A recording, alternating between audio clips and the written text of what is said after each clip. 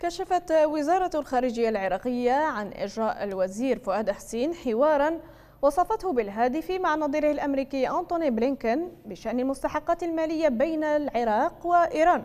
بيان للمتحدث باسم الوزارة أحمد الصحاف ذكر أن وزير الخارجية قاد حوارا هادفا مع نظيره الأمريكي خلال المؤتمر الدولي لمحاربة الإرهاب والذي عقد في الرياض. أفضى إلى ترتيبات جوهرية بشأن المستحقات المالية بين العراق وإيران.